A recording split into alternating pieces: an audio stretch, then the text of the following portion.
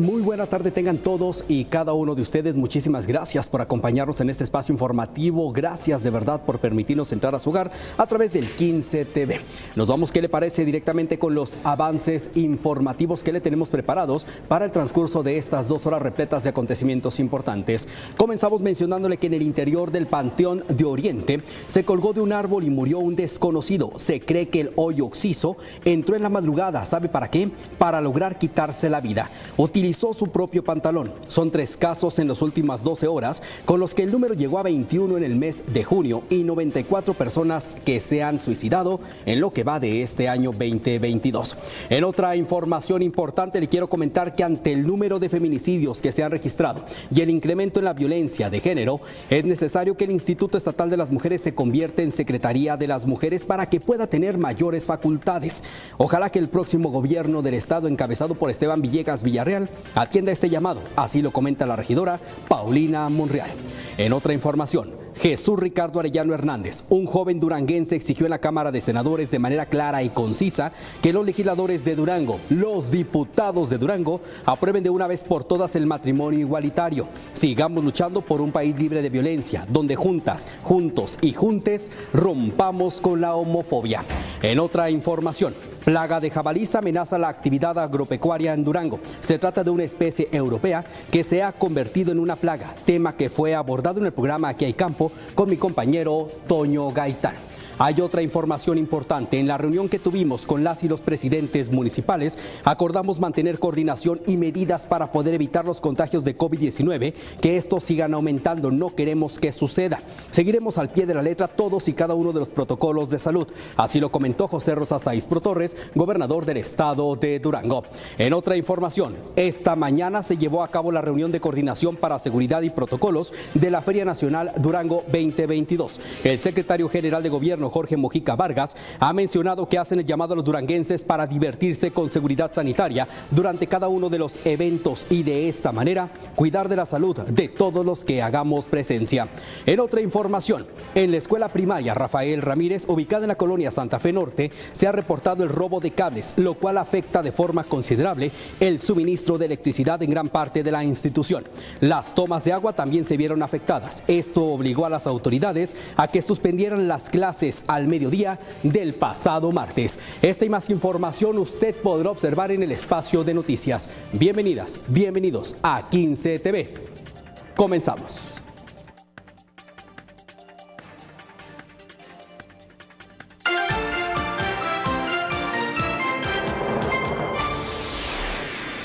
Y bien, miren, nosotros continuamos directamente con más información. En este momento ya son las 2 de la tarde con 3 minutos, 2 con 3. Le quiero dar a conocer que hay una encuesta en la cual usted puede participar para que emita su punto de vista correspondiente. La encuesta es la siguiente. Joven duranguense exige a diputados que aprueben el matrimonio igualitario. ¿Usted está de acuerdo con ello?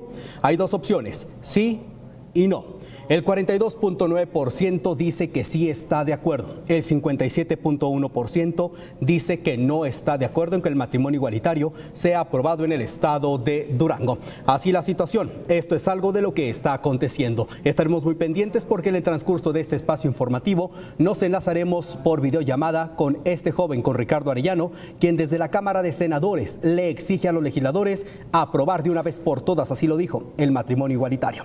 Nos vamos directamente con más noticia. Casos COVID-19, 167 el día de hoy. Lamentablemente van en aumento. Le tengo los datos correspondientes. Muy buenos días a la comunidad duranguense en la actualización de la COVID-19 en nuestro estado. Ya son 3.441 defunciones con 67.225 positivos.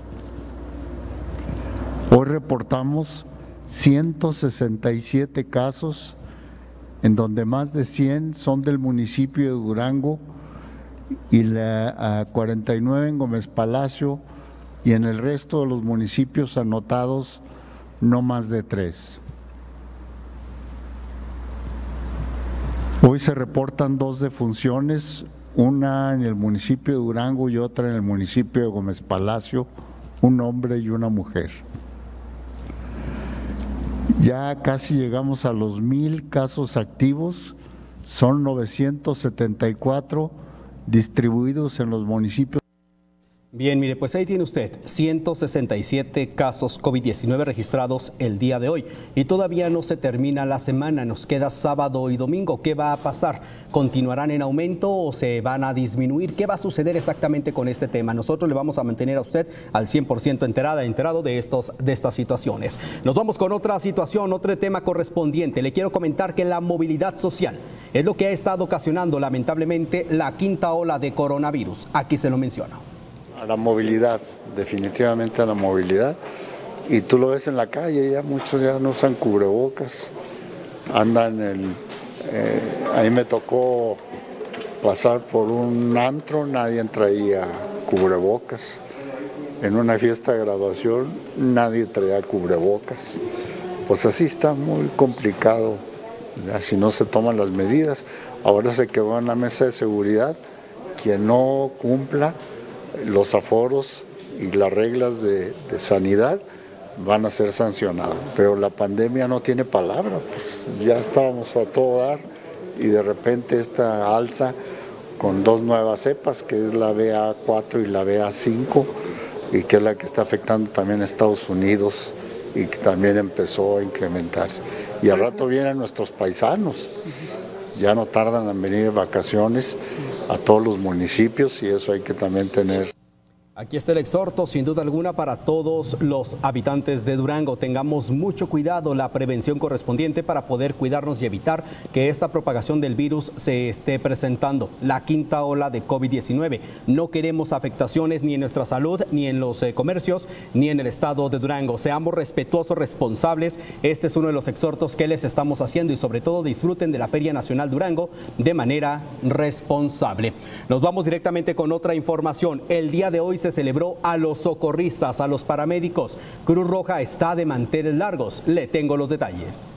Y los 365 días del año, una cara amable de Cruz Roja en la que ellos siempre tienen que llegar con la mayor velocidad posible y sobre todo con una actitud como la tienen. Creo que así nos lo ha hecho saber la ciudadanía, una actitud amable, generosa, y eso ayuda, muchísimo. Eso es lo que estamos festejando, y reconociéndoles a todos nuestros socorristas el gran trabajo que han hecho durante muchos años. Ahorita dimos algunos reconocimientos de 43 años de trabajo, 46 si no me falla la memoria en caso de uno de los comandantes. Es toda una vida, toda una vida al servicio de la Cruz Roja y que esperamos que la ciudadanía sí se lo reconozca. Yo se les decía que deben portar con orgullo ese uniforme donde vayan. La verdad es que yo si los viera en cualquier otro lado, yo con mucho gusto saludaré un elemento de la Cruz Roja que da su mejor esfuerzo, a veces sin recibir nada a cambio. Hoy queremos reconocerles que ha sido un apoyo invaluable que le han dado a la sociedad de Durango y esperamos que lo sigan dando durante muchos años porque tenemos que tener Cruz Roja para siempre. Bueno, pues felicitamos por supuesto a todos los paramédicos, a todas estas personas que se dedican a salvar las vidas. Un fuerte abrazo y les deseamos lo mejor del mundo. Ahora nos vamos directamente con otra información, siendo las 2 de la tarde con 8 minutos. La guapa Ceci Molina nos está esperando de aquel lado del estudio, donde ya tiene todos los acontecimientos en cuanto al clima se refiere. Mi querida Ceci, ¿cómo estás? Muy buena tarde. ¿Qué tal, Víctor? Muy buenas tardes, muy bien. ¿Y tú qué tal te encuentras el día de hoy? Gracias a Dios, mi Ceci, estamos listos. Sobre todo, bueno, podríamos decir que es fin de semana, estamos eh, muy felices, pero mañana trabajamos también. Sí, bueno, ya todos estamos muy contentos porque es viernes y te traigo buenas noticias para este fin de semana en cuestión climatológica. Adelante, mi Ceci. Nos vamos rápidamente con lo nacional. En la parte nacional tenemos todavía la, la tormenta tropical llamada Celia que estaría afectando las costas de nuestro territorio mexicano con algunas nubosidades. En la parte de Sinaloa vamos a tener algún oleaje un poquito alto, también vamos a tener lluvias puntuales en gran parte de nuestro territorio, en la parte occidente, central y sur de nuestro territorio mexicano por la parte de la mesa norte tenemos una circulación anticiclónica que estaría causando un ambiente vespertino un poco caluroso. También vamos con nuestro clima local para nuestros próximos tres días. El sábado tenemos una temperatura máxima de 30 grados con una mínima de 16. Para el domingo tenemos una temperatura máxima de 29 grados con una mínima de 15 y para el lunes tenemos una temperatura máxima de 29 con una mínima de 14. El pronóstico también para nuestros municipios el día de hoy en tenemos que Victoria va a tener una temperatura mínima de 14 con una máxima de 30. Para el Salto tenemos una temperatura máxima de una temperatura máxima de 23 con una mínima de 10. Cuencamea una temperatura máxima de 32 con una mínima de 17.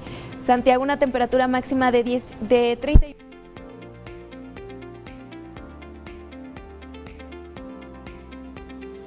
Bien, ahí está la situación, Ceci. Tuvimos un detallito. Ahorita regresamos rápidamente con toda la información en cuanto al clima se refiere. En este momento, señoras y señores, son las 2 de la tarde con 10 minutos. Ahorita volvemos con la guapa Ceci Molina para que nos complemente la cuestión climatológica. Le quiero recordar a usted que hay una encuesta en la cual puede participar.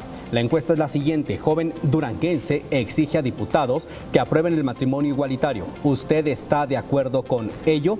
Tenemos dos opciones. Una de ellas es sí y hay un 33.3 tenemos la segunda opción que es no y hay un 66.7%. Así está la participación de la sociedad. Joven Duranguense exige a diputados el matrimonio igualitario. ¿Usted está de acuerdo? Vamos rápidamente, mi querida Ceci.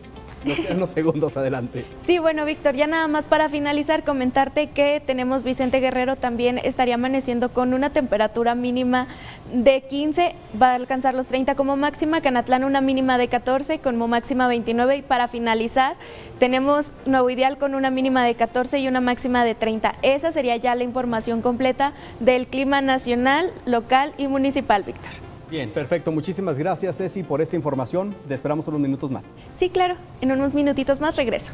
Excelente. Oiga, pues ahí está, mire la cuestión climatológica. Nosotros tenemos que ir directamente a un pequeño corte. Al regreso del mismo le damos continuidad con más temas de interés. No le cambie. Quédese con nosotros.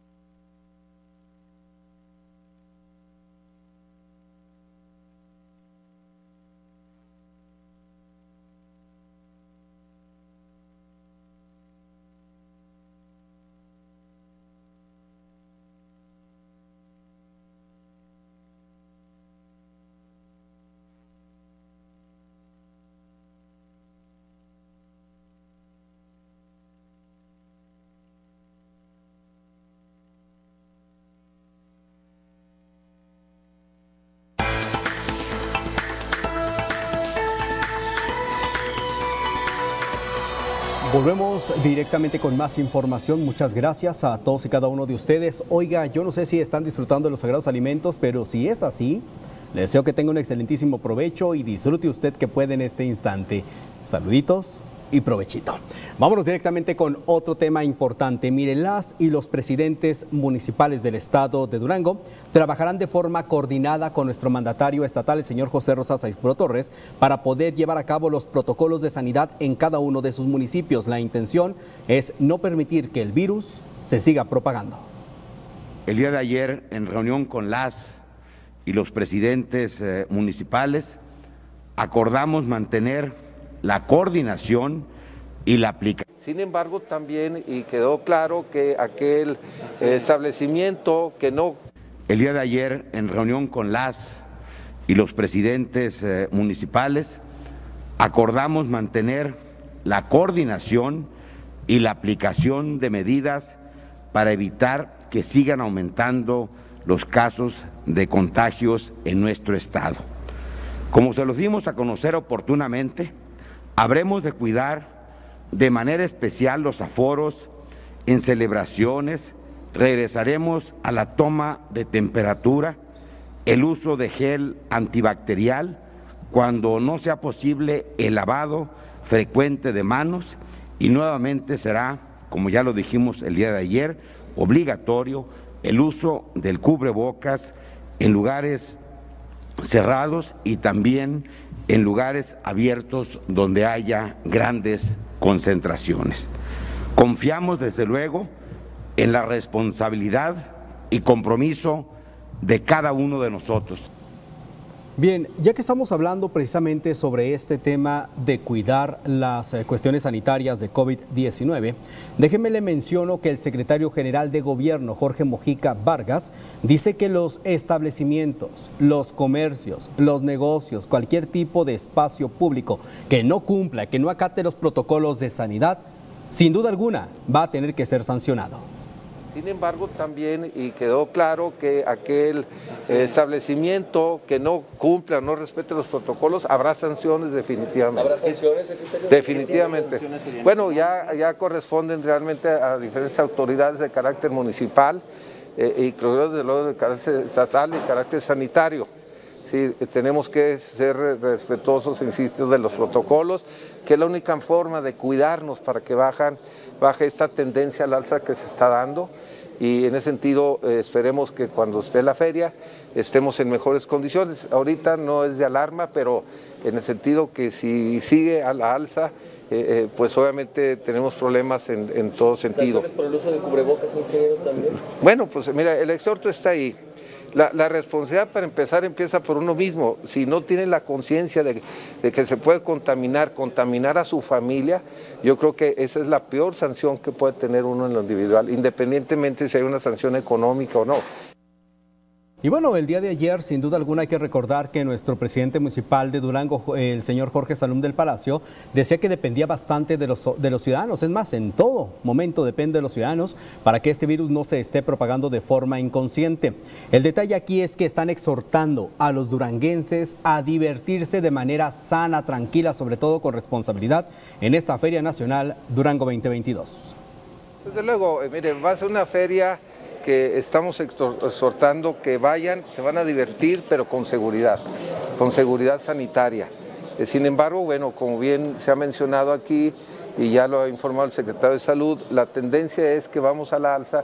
Ayer se comentó en el Comité Estatal de Seguridad y que debe haber una, eh, eh, nuevamente, vamos, un, un cuidado, una responsabilidad social para cuidarnos y respetar los protocolos. Depende de nosotros también y en ese sentido se dejó claro cuáles son los lugares donde tenemos mayor riesgo, empezando por graduaciones que se están llevando a cabo, en el transporte público, en los llamados antros, eh, en, las tiendas de autoservicio, algunas ya, eh, ya no están respetando quizás los protocolos de salud.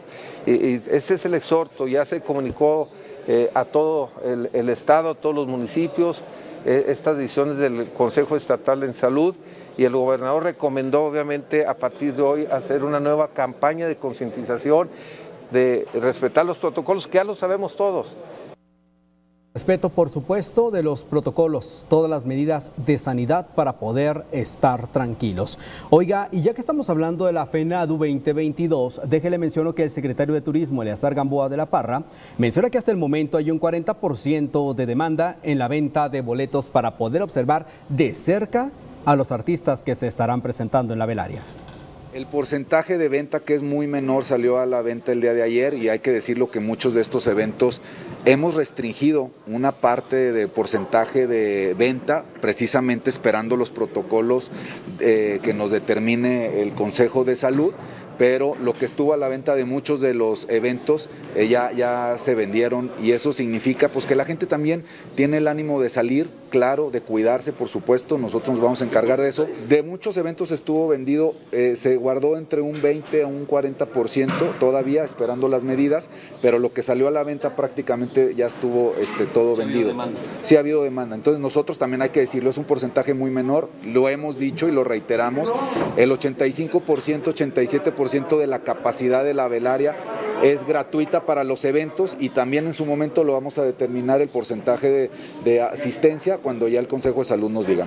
Y sabemos perfectamente que los eventos de la se van a llevar a cabo del 15 de julio al 31 del mismo mes. Sin embargo, la próxima semana, el secretario municipal Mario Garza Escobosa dará a conocer que en la mesa de COVID-19 se van a tomar las nuevas medidas, las nuevas restricciones para evitar esta propagación. Mira, finalmente pues nunca se ha eliminado la, la, situación de que, de, que, no se use el cubrebocas únicamente en espacios abiertos y obviamente seguimos con el tema del gel y el, el autocuidado. Nosotros eh, eh, ya nos pusimos de acuerdo, eh, el lunes o martes tendremos reunión de la mesa COVID, veremos qué recomendaciones hacemos al presidente municipal para ver si hacemos alguna modificación. también seguiremos esperando a ver si hay alguna reunión por parte de, de la mesa de seguridad en salud, si se hace alguna recomendación como ya se hizo el día de ayer, bueno, nosotros estaremos pendientes para implementar y buscar ah, pues ah, bajar esta oleada de contagios. Mira, eh, la verdad es de que pues ya prácticamente está abierto, desgraciadamente. Yo creo que ese es el tema que nosotros tendremos que checar para, para hacer las recomendaciones. Ya pues vino un relajamiento. ahorita las señales son encontradas en el sentido de que hay muy pocas hospitalizaciones y la medición se, eh, de cómo se iba comportando el semáforo era a partir de también de algunos uh, factores de hospitalización, capacidad médica, medicamentos, etcétera. Entonces, este, pues ahorita no hay movilidad en el semáforo porque hay pocas hospitalizaciones y, pues uh, seguimos en, en verde prácticamente, pero bueno, si tenemos que hacer algunos ajustes, estamos en la mejor disposición y pues obviamente hacer una campaña de comunicación para el autocuidado. Y miren, en este momento son las 2 de la tarde con 23 minutos, 2 con 23. Ahora nos vamos al otro lado del estudio con nuestro compañero Diego Hernández, el reportero de la cuestión deportiva. Mi hermano, ¿cómo andamos? Estamos acá en el otro lado, muy bien, feliz. Estamos estamos súper retirados, hermano. Estamos muy lejos, ahí está, estamos muy lejos.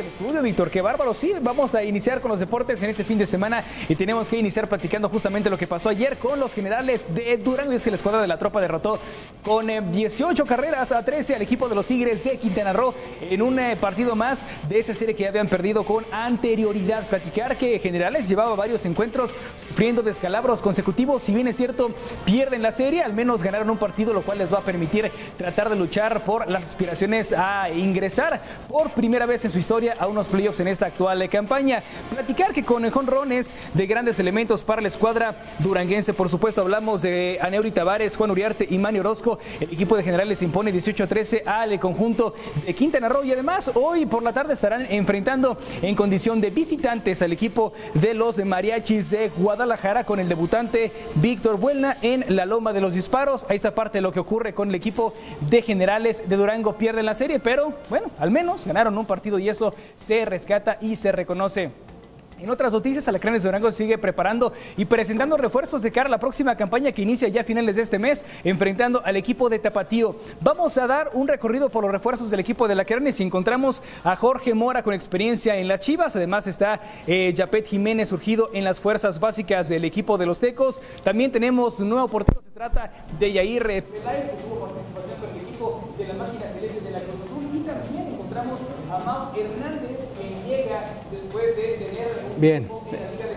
Hermano, no quiero, no quiero interrumpirte, pero ahí hay unos detallitos. Eh, ahorita regresamos rápidamente contigo, no te nos vayas. Miren, nosotros le seguimos recordando a usted, siendo las 2 de la tarde con 25 minutos, que tenemos una encuesta el día de hoy para que pueda participar a través de la misma.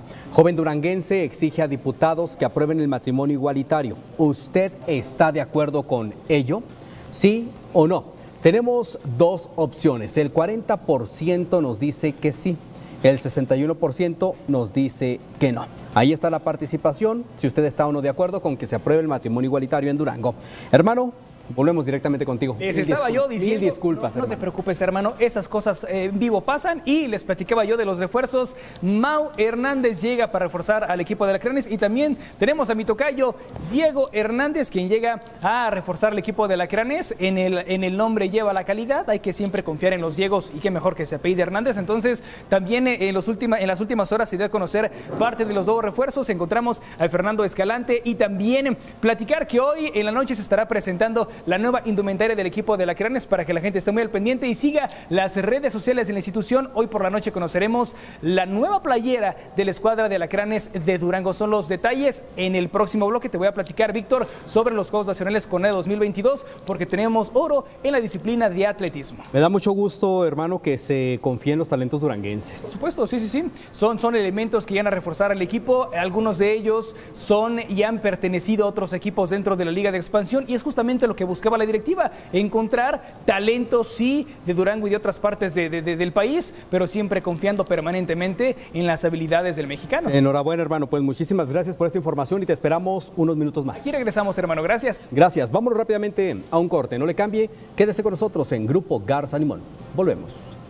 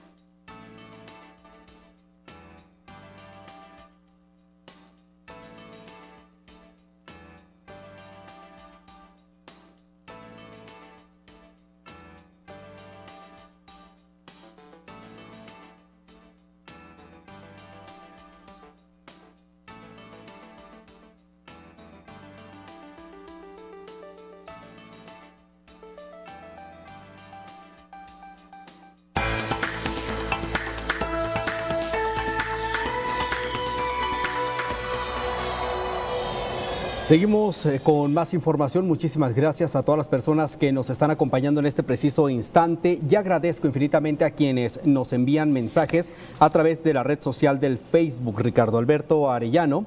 Eh, Ricardo Alberto Reyes Olivares dice, hola, muy buenas tardes, saludos, excelente fin de semana. Gracias, Ricardo Alberto. Asimismo, agradezco infinitamente a las personas que nos acompañan. César Crispín, mande saludos, dice, para mis hijas Melanie y Saori Córdoba Calderón, que te están escuchando Gracias, por supuesto, para estas dos chicas, Melanie y Saori, de parte de César Crispín. Otro comentario, Luis Moreno Mancilla nos dice, excelente tarde, Víctor, aquí pendiente del espacio de noticias, miles de bendiciones y mucho éxito. Un fuerte abrazo igualmente, Luis Moreno. Saludotes y éxito total para ti.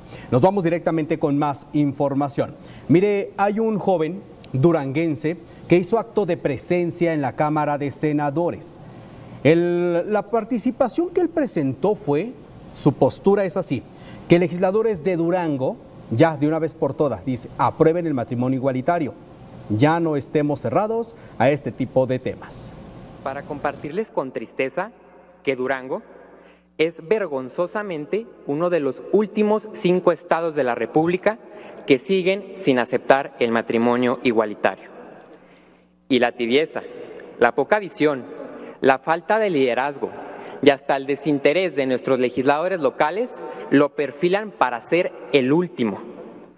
Por eso, desde este Senado de la República, quiero hacer un llamado a las y los diputados locales en Durango para que terminen con sus prácticas homofóbicas y tengan el valor de discutir y aprobar de una vez por todas el matrimonio igualitario.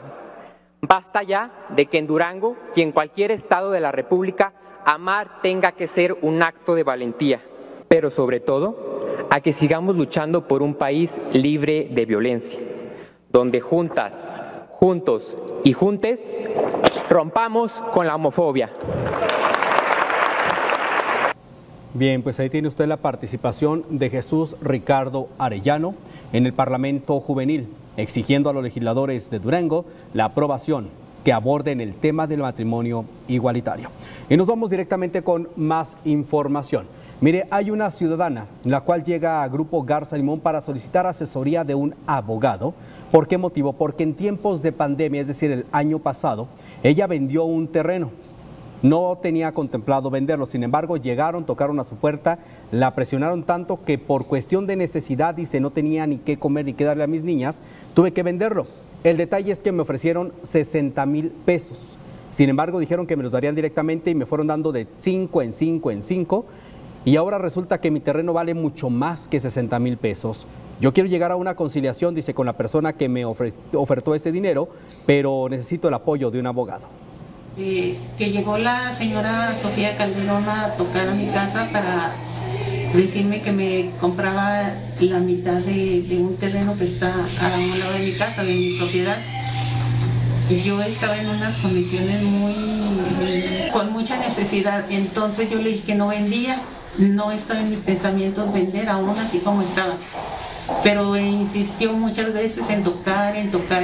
Eh, me decía que me daba 60 mil pesos al contado. Como llegó el momento en que yo tenía para darle de comer a las niñas, tengo dos niñas, le dije que sí, pero no cumplió ella, me daba de, cinco en cinco. Entonces cuando yo vi eso yo le dije que no, que sí, no, porque no, primeramente no podía yo darle de comer a mis chicas así. Que me pueda ayudar para para venderlo, y para venderlo, para darles su dinero y, poder venderlo yo, o que ellas me paguen lo, el valor, el valor real. Si es que lo quieren, porque en 60 mil pesos no, no puede ser. Bien, pues así está la situación. Definitivamente la señora Erlinda Ruiz tiene esta necesidad. Dice, ayúdenme con un abogado. Es lo único que pide, no pide más, solamente que un abogado la asesore para saber qué se puede hacer. Pero aquí lo que debería de corresponder es una conciliación entre la persona que le dio el dinero y ella que vendió su terreno para que lleguen al acuerdo y en base a eso puedan solucionar el problema. Nos vamos directamente con otra información. El día de ayer se premió por parte del municipio del señor Jorge Salón del Palacio a varios... Eh, artistas de nuestra ciudad, en este caso, que plasmaron sus grafitis artísticos en las escaleras del Cerro de los Remedios. El día de hoy nos dimos una vuelta, un recorrido, subimos las escaleras, son más de 300 escaleras, platicamos con algunos de los deportistas, entre ellos uno, un ciudadano que tiene más de 10 años, dice, subiendo día tras día estas escaleras. Ahí está la participación. Lo que pasa es que subo y le doy la vuelta para no este fregarme mucho los meñiscos, todo eso. Los Entonces no, no me gusta bajarlo porque es mucho el golpeteo. Definitivamente. Entonces prefiero bajarla corriendo. ¿Y hace cuántos años, eh, amigo, que, que practica este deporte? Pues unos 10 años aproximadamente, sí aproximadamente 10 años. Ya una condición a todo lo que da, ¿no? Pues gracias a Dios ahí vamos. Oiga, lo que vemos es que hay muchas personas que efectivamente vienen a practicar deporte. Algunos están subiendo, otros están bajando, pero vale la pena realizar ejercicio. No, sí, sí, es sanamente todo eso. ¿Qué le dice usted a la sociedad durañense? No, pues que le echen ganas, no se, no se queden ahí sentados, acostados. Hay que fortalecernos, hay que. La salud más que nada cuenta mucho. Sin duda alguna. Sí, es, es lo primero. ¿Y qué le parece que hayan pintado estas escaleras? Oiga, se ve muy bonito, eh. Excelente, sí, excelente. Desde que sube uno como que, pues... Hasta se hace más cortito el, el, Sí, no, y pues para que le echen ganas. Genial. Más que nada. Oye, créame que es un gran deporte este, son más de 300 escalones. Imagínese este ciudadano que entrevistamos, siete veces lo sube en el día. Subir, bajar, subir, bajar, subir, bajar, siete vueltas. De verdad que es un gran ejercicio y durante 10 años, comenta, lo ha estado llevando a la práctica. Hay mucho deportista que acude a este lugar y las escaleras del Cerro de los Remedios, sin duda alguna, están espectaculares en este momento. Ahora nos vamos con otra información. Nuestra compañera Ceci Molina atiende el reporte de una denuncia ciudadana robo de cables en una institución educativa. Aquí está la noticia. Hola, ¿qué tal? Nos encontramos en la escuela primaria Rafael Ramírez, la cual emitió un reporte de robo, motivo por el cual se vieron afectadas las clases para los alumnos. Vamos a conocer la información. Pues debido a esta avería que nos ocasionaron unas personas, tuvimos que llegar a suspender clases porque nos robaron cableado eléctrico, por lo tanto eh, no tuvimos suministro de agua y los baños por medidas de higiene tuvimos que clausurarlos. A mitad del día del martes tuvimos que suspender clases, avisarle a los papás que vinieran a recoger a sus niños de manera inmediata ya que pues los baños no estaban funcionando y pues ya estaban muy sucios. Directora, ¿cuándo nos dimos cuenta de esta situación? El día lunes, al llegar aquí a la escuela, eh, cuando andábamos abriendo los salones nos percatamos de, de distintas cosas muy, muy raras, vimos los registros abiertos, vimos unos tubos tirados, este, no había luz en los salones, macetas tiradas, entonces empezamos a investigar, a observar y nos dimos cuenta de que nos habían robado el cableado eléctrico, que afectó considerablemente tres edificios de aquí de la escuela, incluyendo los baños. ¿Y ya contamos con reporte realizado? Sí, ya afortunadamente luego luego avisamos a las autoridades, vinieron de la policía estatal, la policía municipal, eh, le hicieron su levantamiento, procedimos a hacer la denuncia en la fiscalía, así como avisar a las autoridades inmediatas, el supervisor, acudir a las instancias del Departamento de Regionales de la Secretaría, que también pues agradecemos su, su apoyo que de manera inmediata mandaron a una cuadrilla para hacer el levantamiento y nos proporcionaron el material necesario. Por otro lado, la directora comentó que la escuela permaneció intacta durante la época de la pandemia, por lo que este caso es preocupante, ya que es la primera vez que se presenta algo similar. Eh, no, no, inclusive pues éramos de las escuelas que durante la pandemia quedamos exentos de cualquier avería, hasta de un vidrio roto, no tuvimos nada, ninguna avería hasta este momento, lo cual sí nos sorprendió, eh, pues porque no estábamos acostumbrados a sufrir este tipo de daño. Con imágenes de Mauricio Corrales, reportó para Noticias Garza Limón, Cecilia Molina.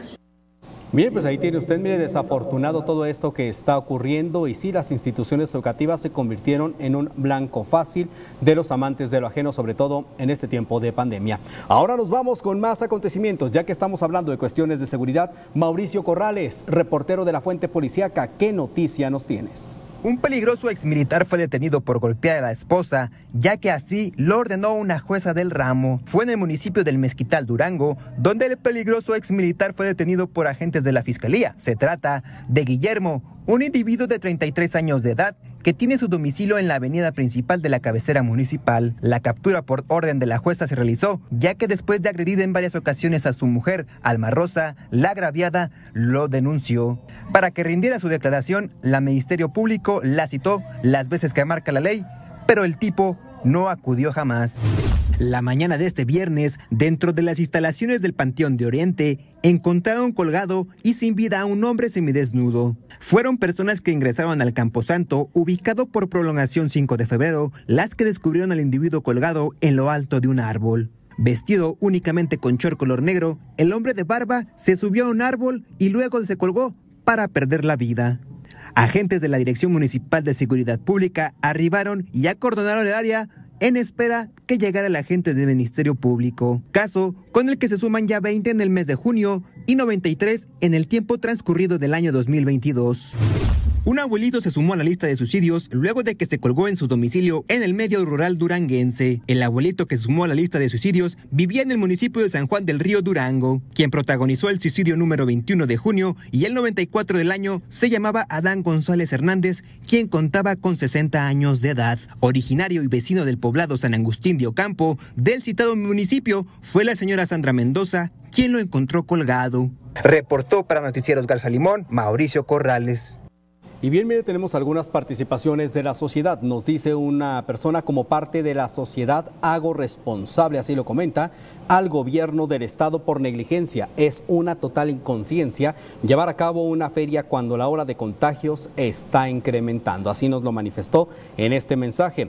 Otra participación, saludo, dice a usted y felicidades por su noticiario. Muchísimas gracias. Oiga, le puedo enviar un saludo a mi hija Ana Raquel desde Vicente Guerrero Durango, que no se pierde su espacio de noticias. Por supuesto que Ana Raquel, te mando un abrazote. Gracias por siempre estar pendiente de este espacio de comunicación. Vámonos un corte, no le cambie. Regresamos directamente con más acontecimientos.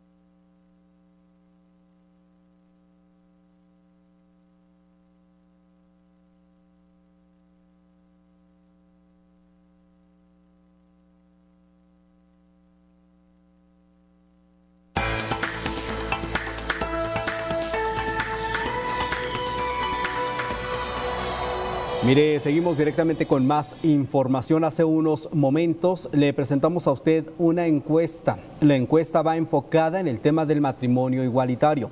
Un joven duranguense de nombre Jesús Ricardo Arellano presentó su postura ante la Cámara de Senadores. Es decir, usted, él exige a los legisladores de Durango que aprueben el matrimonio igualitario. ¿Usted está de acuerdo con ello?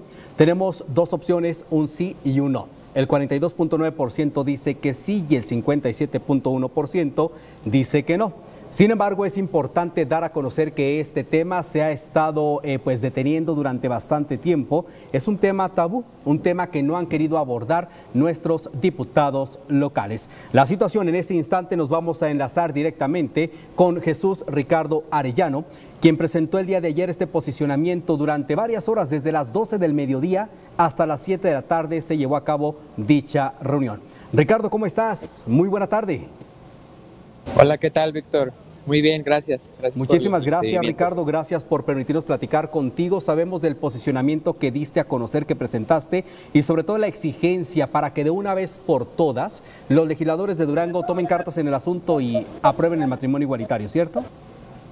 Es correcto. ¿Qué pasa, Ricardo? ¿Por qué motivo? Platícanos, por favor.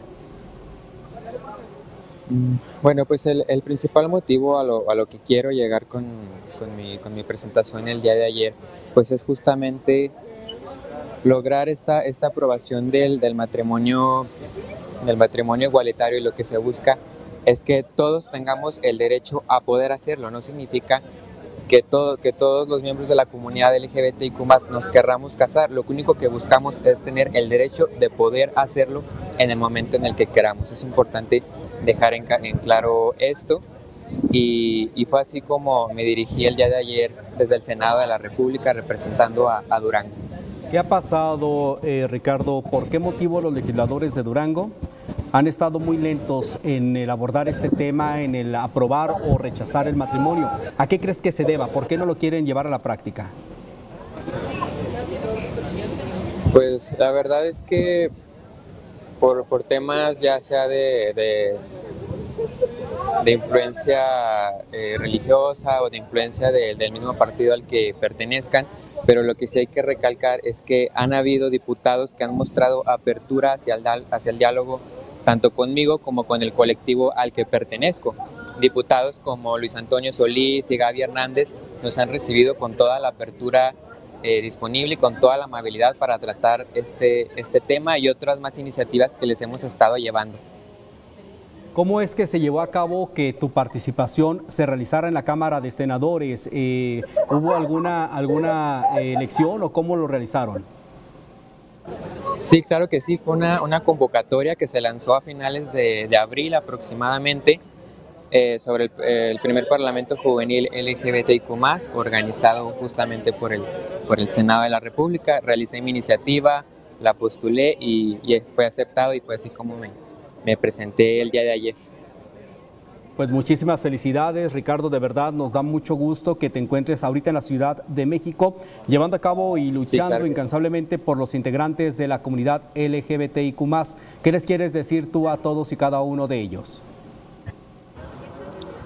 A todo, a cada uno de ellos, pues les quiero, les quiero decir, les quiero darles la, la motivación necesaria para si se encuentran dentro del, cross, del closet, si se encuentran reprimidos y ven en mí una, una figura de, de representación, que lo hagan, que salgan, que se animen. Yo en su momento estaba de igual manera con, con mucho miedo de, de, decirlo incluso a mi familia y el día de ayer lo dije aquí en el Senado de la República a todo el país y en realidad que, se siente muy bonito tener el apoyo de, de, de, grandes figuras como, lo son la senadora Patricia Mercado, por ejemplo, y la verdad es que, como les digo, si, si sienten miedo, angustia, pueden acercarse a mí y de igual manera también los invito a integrarse al colectivo al que pertenezco, que se llama LGBT Rights Durango, el cual es liderado por mi amigo Alan Espinosa de Lago. Están todos invitados y los recibimos con todo el cariño. Ricardo, muchísimas gracias por permitirnos platicar contigo y felicidades por eh, representar a Durango y sobre todo luchar por esta comunidad. Saludos. A ti, Víctor, muchísimas gracias. Un fuerte abrazo, cuídate mucho, estamos en comunicación. Igual, gracias. Hasta luego, buen día. Ahí tiene usted, mire, la participación de Ricardo Arellano, Jesús Ricardo Arellano, este joven duranguense que el día de ayer hizo acto de presencia en la Cámara de Senadores. Él, eh, pues, luchando y exigiendo a los legisladores de Durango que ya de una vez por todas así lo manifestó, se luche y se apruebe por el matrimonio igualitario. Son las 2 de la tarde con 50 minutos. Ahora nos vamos con Ceci Molina. Ya nos está esperando para dar a conocer más información en cuanto al tema del clima se refiere. Adelante, Ceci. Nuevamente, buenas tardes. Claro que sí, Víctor. Déjame platicarte un poquito más acerca del clima con el que vamos a amanecer para el día de mañana. Tenemos estimado que para el día de mañana estaríamos amaneciendo con una temperatura mínima de 15, vamos a alcanzarlo como máxima los 30, precipitaciones 44%, humedad 24% y vientos de 15 kilómetros por hora.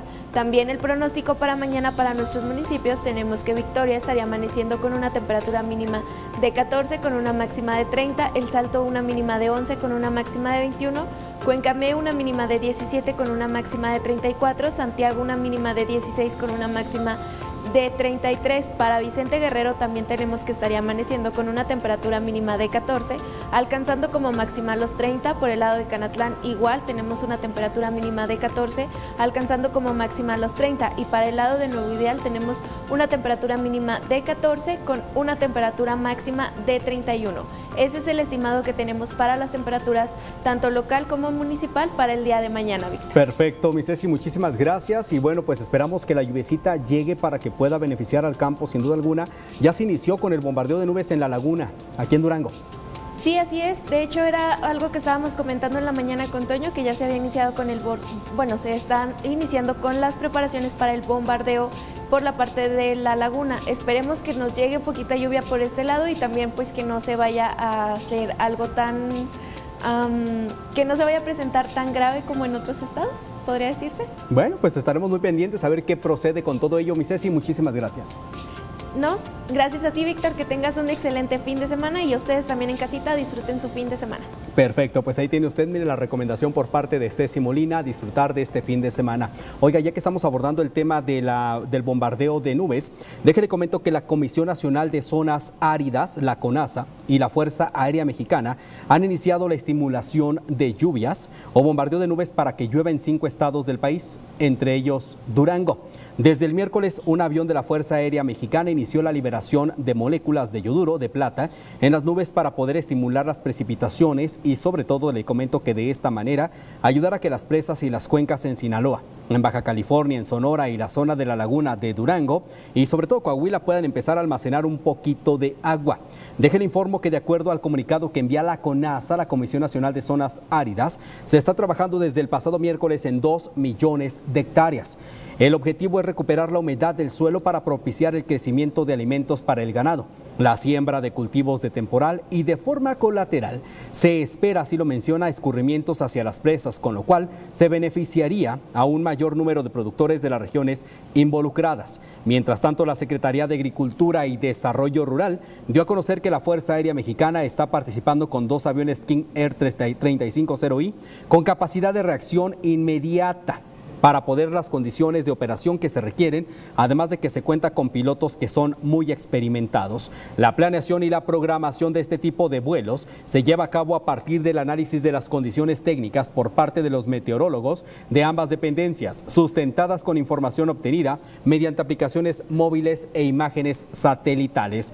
En abril pasado, la Secretaría de Agricultura puso en marcha el proyecto de estimulación de lluvias para poder mitigar los efectos del desabasto de agua de la zona metropolitana de Monterrey. De Nuevo León, en el distrito de riego DR025 bajo Río Bravo en Tamaulipas y ahora está continuando con Chihuahua, con Sinaloa, con Baja California, Sonora y la zona de la laguna de Durango. Durango, sin duda alguna, y así lo mencionan, es uno de los estados donde se llevará a cabo el bombardeo y es que de acuerdo al comunicado se está trabajando desde el pasado miércoles con 2 millones de hectáreas. Ahí lo tiene usted, mire, el bombardeo de nubes en la laguna para beneficio de las regiones. La CONASA así lo ha manifestado. Y son las 2 de la tarde con 55 minutos. Nosotros continuamos directamente con más acontecimientos. Nos llegan algunos puntos de vista. Nos dice una persona no al matrimonio igualitario Hay principios y valores que se deben de respetar, así nos lo mencionan. Hola, muy buena tarde, dice, oiga, por favor, los eh, pasaportes norteamericanos, dígame por favor dónde puedo acudir. Mire, puede acudir usted directamente a la Oficina de Relaciones Exteriores, la Secretaría de Relaciones Exteriores, ahí en un centro comercial de Durango, el más grande que existe el centro comercial más grande de aquí de Durango. Ahí está la oficina en la parte alta. Seguimos con otra información. Dice una persona eh, con los comentarios que nos han llegado, Víctor, eh, por favor, el IFE o el INE, quiero preguntar por qué me llegó un cobro de casi 150 dólares por la paquetería de, los, de las elecciones pasadas. Yo vete desde Chicago, pero me llega un cobro de 150 dólares, se me hace extraño. Bueno, mire, en el Facebook puede buscar el INE, la página del INE o del, eh, para que le den ahí los puntos de vista. Ahí están los números telefónicos y ya se contacta directamente para que le den respuesta a esta situación. Vámonos un corte, no le Regresamos directamente con más noticia.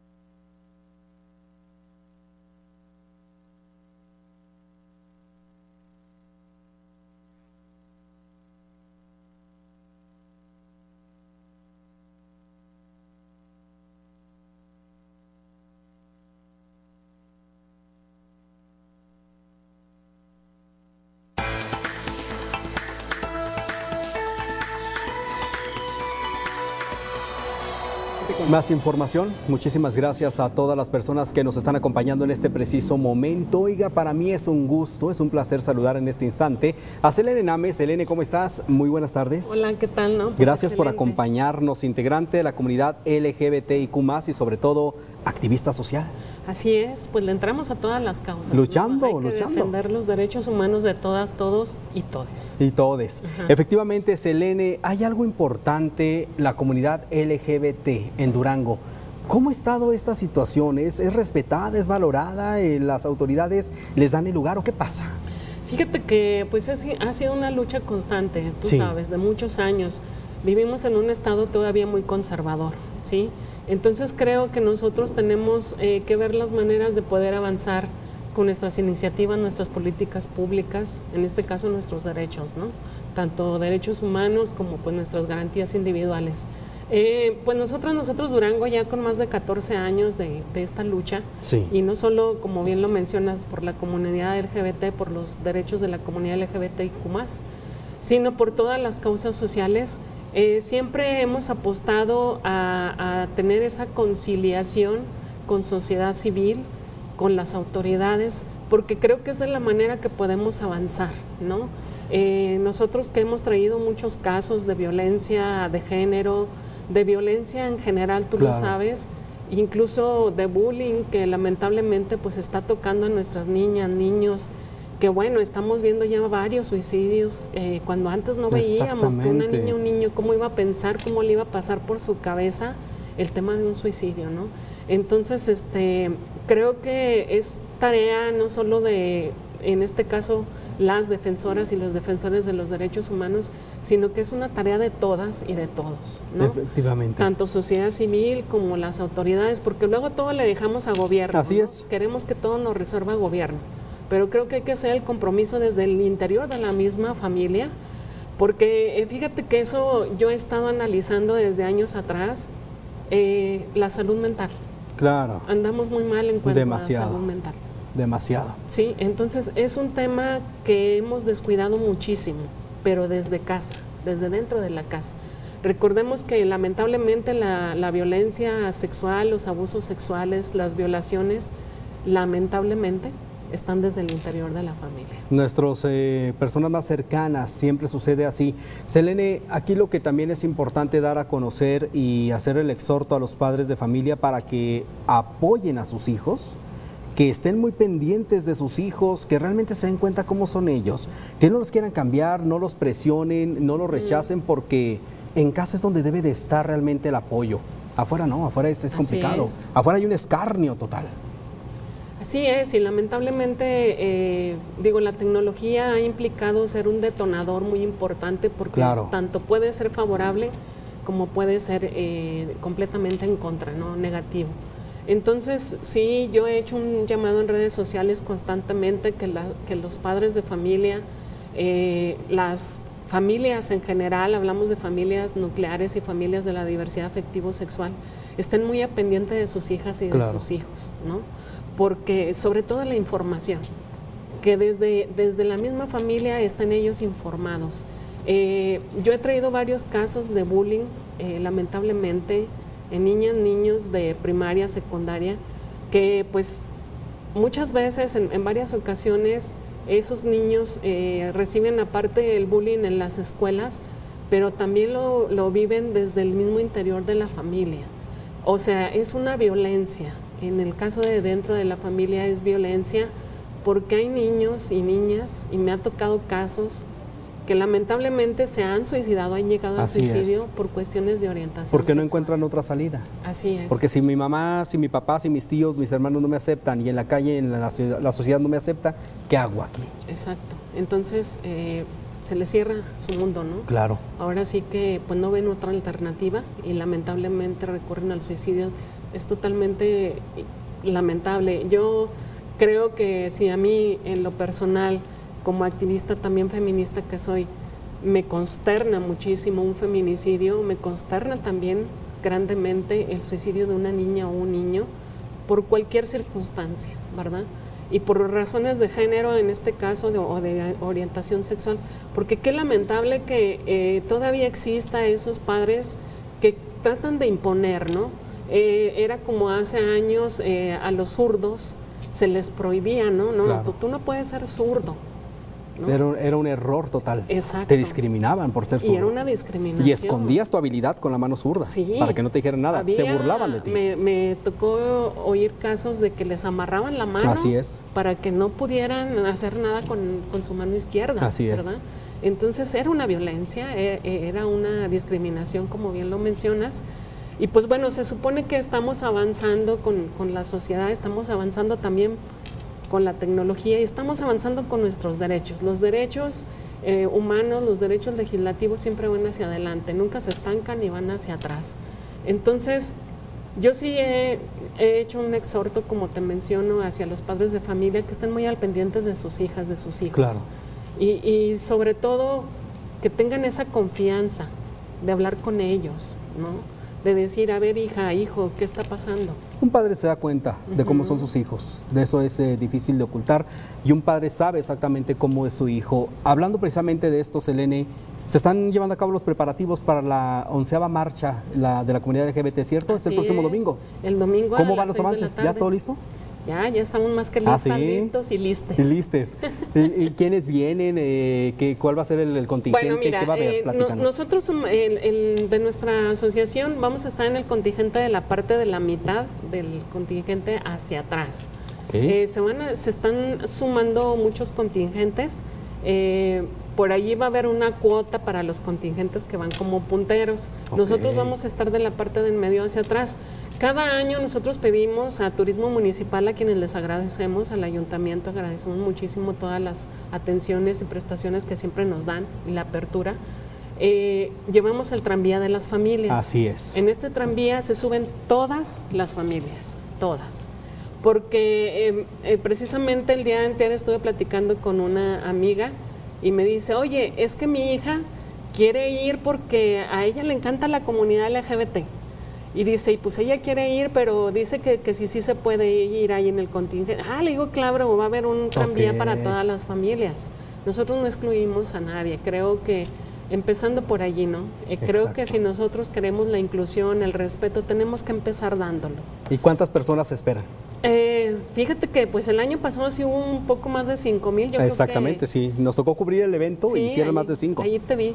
Este, Ahí anduvimos cubriendo, Yo creo exacto. que pues sí esperamos unas 7 mil personas. Parece Bueno. ser que hoy están confirmados unos municipios. Sí. Esperemos que pues sí, seamos un contingente muy grande, pero más que nada también que no se incomode la sociedad porque sí hay comentarios de que, ay, pues también porque los heterosexuales no hacen marcha, no, pues es que ellos no tienen que hacer marcha, no tienen que alzar la voz porque no carecen de los derechos como los Claro, carecemos claro. nosotros, ¿no?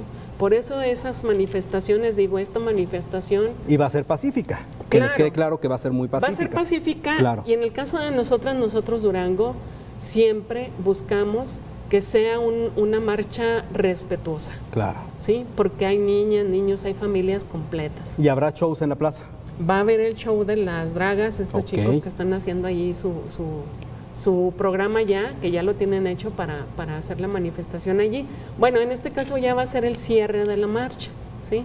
Nosotras este, vamos a irnos eh, con un performance. Primera, por primera vez en Durango va a ser al revés ahora, vaya- Ah, va, a ser, va a ser a la inversa. Eh, en vez de chavos travestis, eh, ahora nosotras nos vamos a, a- a trasvestir, digamos. Vamos a hacer un performance, en este caso vamos a interpretar unos personajes. Ok. Y pues va a estar muy interesante para que vayan y, y vean. Va, va a estar el ¿Andará, el, Brandon. andará el Brandon por ahí? Ah, Ahí va a estar el Brandon, va a ir de vaquero el Brandon. Muy bien. Oye, me hace la competencia ese Brandon, ¿eh? No, no, no, pues es que los dos son unos bombones. no, este, ahí se anda de- deshaciendo ya con el calor también. Ya sé, ya sé. Por poco llegabas, eh, pues eh, Sí. el bombón se derrite, Selene Sí, Name, ahorita ya con me el calor. andaba derritiendo junto con el Brandon. Mi Selene, nos comentan que nos quedan dos minutos para terminar, bueno, un minuto y medio para terminar esta entrevista. ¿Qué hay del matrimonio igualitario? Bueno, pues hay muy pocos eh, avances, tú lo No se ha sabes. abordado el tema, Bueno, ¿verdad? eh, una organización nueva estuvo en el Senado de la República alzando la voz. Eh, un, un chavo, no, no lo conozco, Así no tengo es. el gusto. Pero qué bueno que las nuevas juventudes se sumen a esta lucha, ¿no? Digo, a nosotros nos, nos tocó empezarla, Claro. Pero si se van sumando más organizaciones, si se van sumando más comunidad LGBTQ más bienvenidas, ¿no? Pero es un tema que está en el tintero, que la legislatura no la debe. Así Eh, es. Creo que ya son casi tres administraciones. Y pues bueno, es un tema que ya no le pueden estar sacando la vuelta. Hay una jurisprudencia que respalda la Suprema Corte de Justicia. Y bueno, pues, ¿qué te puedo decir? Creo que no vamos a quitar el dedo del renglón, pero este, pues que vayan todos a la marcha el domingo. ¿A por ahí partir de vamos qué a hora? Desde las 6 de la tarde, pero vamos a estar armando nuestros contingentes desde las, desde las 4 o Ok. 5 de la tarde. Por toda la 20 de noviembre. Toda 20 de noviembre, ahí frente a un conocido canal de televisión. Exactamente. Bueno, pues para que la gente se dé la oportunidad de acudir, familias y todos pueden estar ahí presentes. Por ahí vamos a andar cubriendo, por supuesto, el evento también. Ahí, ahí los saludamos. Ahí saludos al Brandon. Ahí saludamos al Brandon. Gracias, Elene, por habernos acompañado placer, y esperemos gracias. que en próximos días nos puedas volver a acompañar. ¿Qué Claro te que parece? sí. ¿Sí? Un Para placer. ver qué resultados hubo de esta marcha. Va. Gracias, Elene. Vámonos rápidamente un corte, no le cambies, son las 3 de la tarde con 11 minutos. Regresamos con más acontecimientos. Volvemos.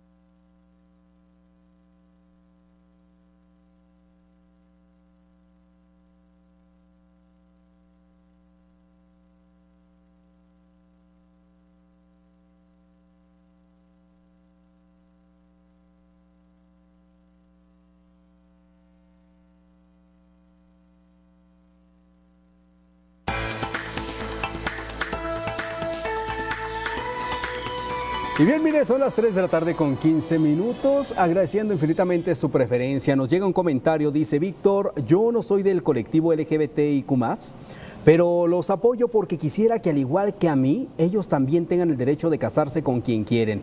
Sí al matrimonio igualitario, dice esta persona a través del sistema de WhatsApp. Otra participación nos dice una persona, eh, respeto sobre todo, dice, respeto la forma de pensar y actuar de personas LGBT que ellos respeten la forma de pensar de nosotros los demás, dice, no al matrimonio igualitario, así nos comenta una persona. Así como exigen a legisladores aprobar matrimonios igualitarios, yo exijo a legisladores que no lo aprueben. Esto es lo que nos comenta un ciudadano. Hay muchos puntos de vista, pero vámonos directamente con el buen Diego Hernández que nos tiene más información deportiva, hermano.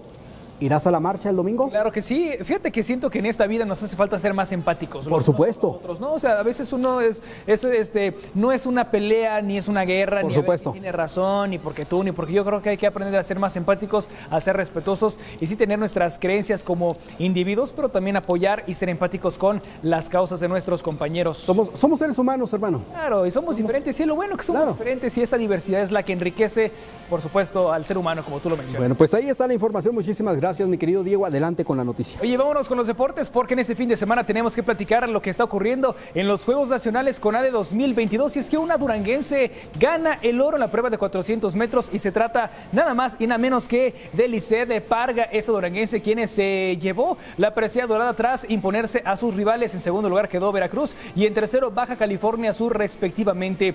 Platicar que Lisset hizo un tiempo realmente impresionante y es que terminó la contienda con un tiempo de 54.36 segundos, con lo que se adjudicó la prueba y por ende también la medalla de oro. Ella llegaba a esta competencia siendo claramente la favorita y justamente demostró su valía, demostró su talento y por qué Durango sigue siendo semillero de grandes atletas pertenecientes a esta disciplina. Se preparará ahora para una competencia internacional, entonces ahí está parte de la información de lo que pasa con los Juegos Nacionales con de 2022. Orgullo Duranguense siempre poniendo en alto el nombre de nuestra entidad y eso me parece que es digno de resaltar, mi querido Víctor.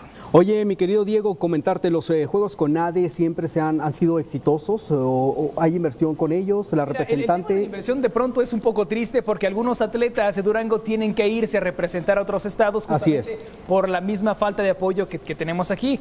Aunado a esto, pues son algunas, algunas condiciones que, que en Durango antes no permitían eh, practicar correctamente la disciplina. Por eso es que muchos se van a otros estados de la República, pero en general Durango tiene mucho talento, lo han demostrado en varias competencias y qué bueno que duranguenses asistan a los juegos Sin y duda. se traigan preseas porque al final de cuentas es talento local y creo que debemos de apoyarlo. Y hay que invertirles mucho más. Hay que Se lo merecen. Realmente, si hay algún sector que merece y necesita inversión de forma urgente, sin lugar a dudas es el deporte. Definitivamente. Diego, muchísimas gracias Un bonito esta fin de semana, regresamos con más el próximo lunes. Cuídate mucho, qué buen look traes, ¿eh? Gracias, amigo. Padre. Aquí nos vamos al, al, al antro.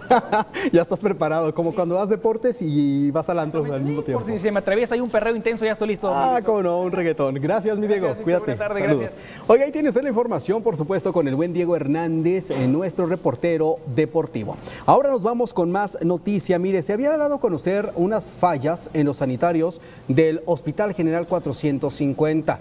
Pero, ¿qué pasó exactamente? El secretario de Salud, Sergio González Romero, nos tiene respuesta a esta, a esta situación. No, eso es cierto.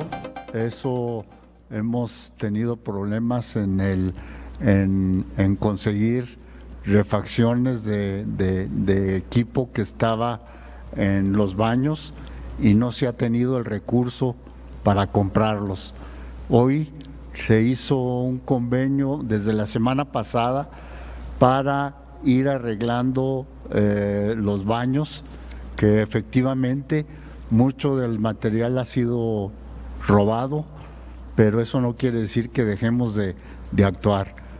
Eh, eh, haremos convenio con, al- con los proveedores para que tratar de que nos apoyen en ese sentido y poder sacar en el transcurso de esta semana y la otra para que estén funcionando al 100%. Seguimos directamente con más información. Muchísimas gracias a todas las personas que nos están acompañando. Nos están llegando algunos puntos de vista. Nos dice un verdadero placer escuchar su noticiario, Víctor. Aquí comiendo en nombre de Dios Durango con la familia Soto Reyes. Muchísimas gracias. Provechito a todos y cada uno de ustedes. Y saludotes hasta la tierra del Mezcal. En nombre de Dios Durango, aquel pueblo mágico. Otra participación, dice una persona, ojalá que arreglen las banquetas porque están muy feas. así nos lo comentan. Están muy feas, ni siquiera se puede pasar. Si nos dicen en qué banqueta, si son tan amables, en qué área, por favor. Seguimos con otra participación. Dice una persona, solamente que la marcha eh, sea lo más respetuosa posible, que por favor, dice, no vayan a pintar calles ni edificios. Oiga, no, déjele comento que la comunidad LGBT ha sido bastante respetuosa. Solamente es una marcha y al término de la misma en la plaza se llevará a cabo un evento con bastantes shows drag. Pero no hay ni pintas, ni rayas, ni destrozos, ni mucho menos. Otro comentario, muy buenas tardes. Para poner la queja que en el IMSS del Salto no quieren atendernos ya. Estamos escasos de medicamentos. Ahora tenemos que comprarlos, dice, pues no tenemos los recursos suficientes para poder adquirirlos, que alguien nos apoye. Hola Víctor, muy buenas tardes. ¿Podría hacerme el favor de investigar sobre los juicios de lo laboral? Porque la verdad, dice, nada más nos están dando largas y la verdad sí necesitamos de nuestra liquidación. A lo cual pienso que no estamos robando algo, dice, ni estamos rogándoles, que lo, solamente les pedimos lo que nos corresponde.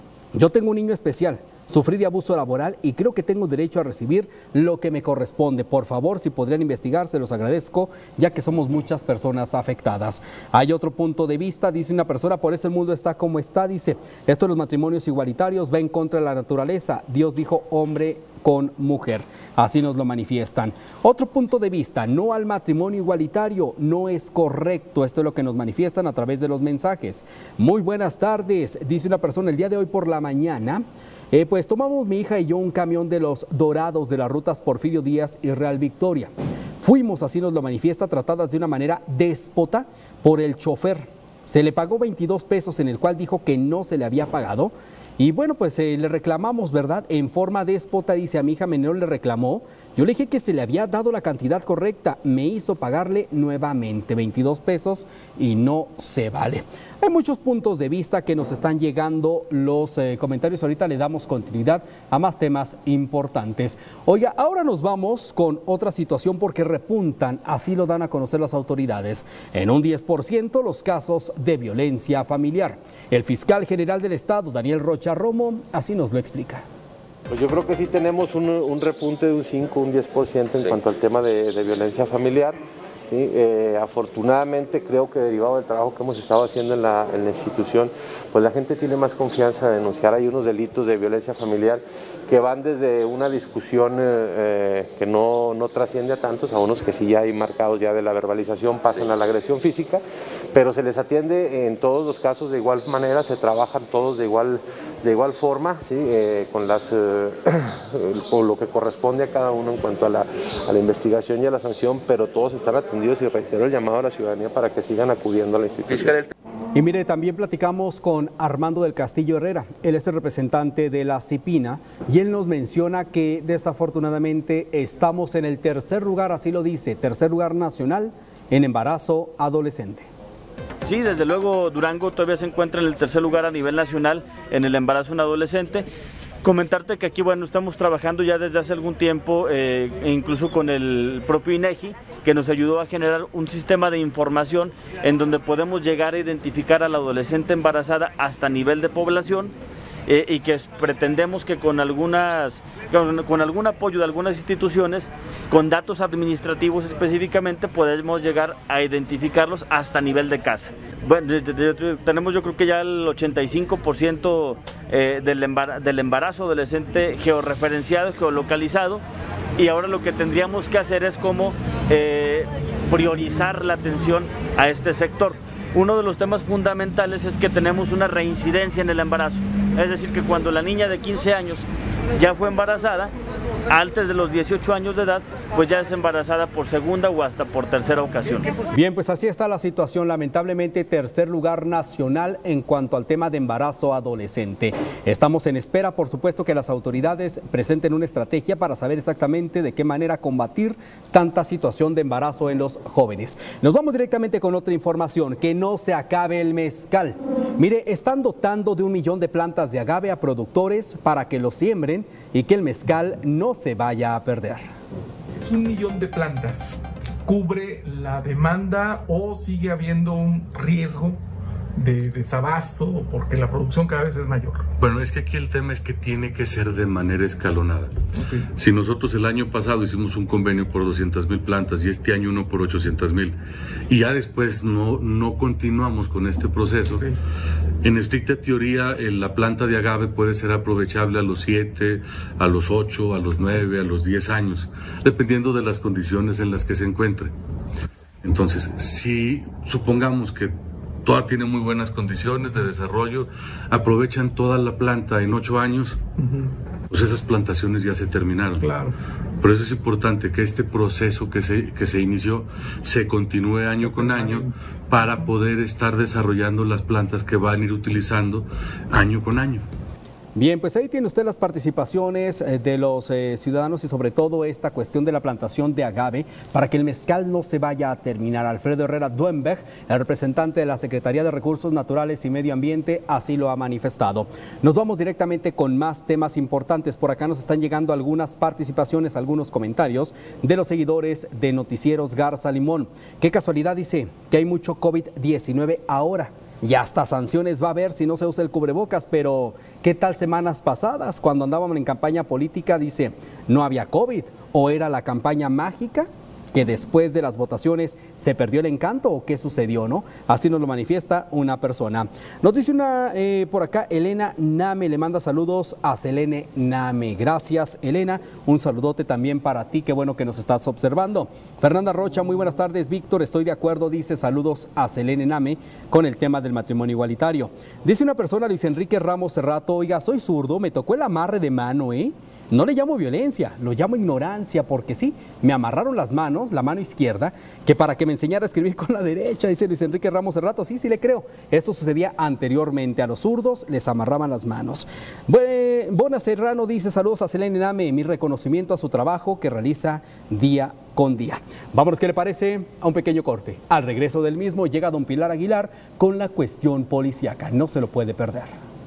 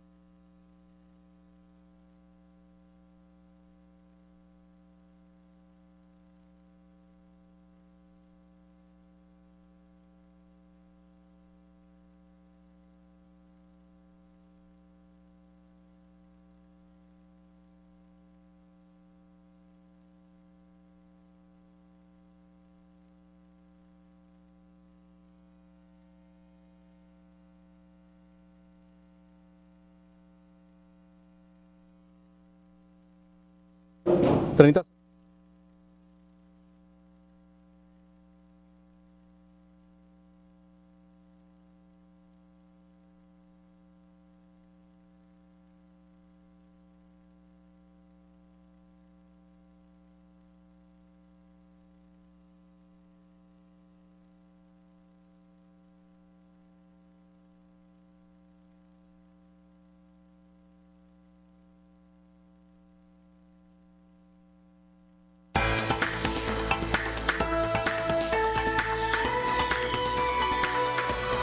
Regresamos, por supuesto, con toda la información correspondiente y en estos momentos agradecemos la presencia de don Pilar Aguilar, nuestro corresponsal de la Fuente Policíaca. Don Pilar, ¿cómo anda? Buenas tardes. Víctor. Bienvenido, muy buenas tardes. ¿Cómo está? Muy bien, muy alarmado, Víctor, muy Oh. alarmado por tanto ¿Por qué, don Pilar? Oiga, Las ¿qué- últimas 24 horas son 4, 20 horas son 4 suicidios. ¿Qué sucede, don Pilar? ¿Qué, qué está pasando? Bueno, pues la depresión dicen los que saben. Así es. eh, eh, la, se está informando, y como lo vimos a conocer en nuestra página notigram.com, bueno, pues nosotros muy temprano tuvimos un suicidio de Guadalupe Victoria, otro de aquí del Panteón de Oriente, eh, uno de San Juan del Río, y en ese momento, pues aquí en la ciudad de Durango, en la Don Pilar, perdón que lo interrumpa. Eh, ahorita vamos a continuar con usted rápidamente. Hay un detallito ahí en, en el micrófono, pero mientras tanto, le invitamos a usted a que esté muy pendiente con Noticieros eh, Garza Limón para que pueda participar en cuanto a los temas que le estamos poniendo sobre la mesa, sobre todo la encuesta del día de hoy. Ahí está, un joven duranguense exigió a diputados que aprobaran el matrimonio igualitario en la Cámara de Senadores. Así lo dijo y le pide a los legisladores que lo voten a favor. 45% dice que sí, 55% dice que no. Ahora sí, don Pilar, estamos listos. Bueno, mire, eh, ahorita vamos a seguir con los suicidios. Primeramente quiero darles eh, la información este que ocurrió ayer en la tarde, allá en el poblado Po- Potrero del Llano. Resulta que la señora Delia Soto Aguirre, de 46 años de edad, y su hija eh, Karen Herrera Soto, pues se conducían, viajaban en una camioneta tipo Silverado cuando chocan con una camioneta eh, marca Ford tipo Explorer que conducía Andrés de la Rosa Nájera. Ellos tres resultaron lesionados, pero es la señora eh, Soto Aguirre la que eh, pues resulta más con más heridas y es trasladada a la ciudad de Durango al Hospital General 450. Y bueno, pues también tenemos el caso de la eh, Secretaría de Seguridad Pública que nos informa que hasta la fecha han sido detenidos 1.830 personas por diferentes delitos.